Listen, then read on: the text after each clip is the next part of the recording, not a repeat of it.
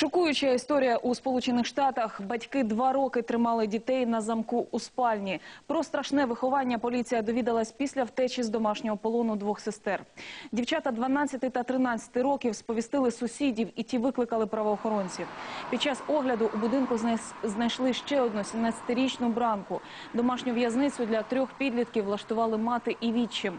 Два роки дівчата сиділи у спальні, не мали доступу до ванної та отримували їжу раз на день. Зараз батькам висунули понад 10 звинувачень, серед них і сексуальні домагання. За дітьми батьки стежили завдяки камерам, які були спрямовані на ліжка дівчат. А всі звуки бранок вони приховували гучною музикою.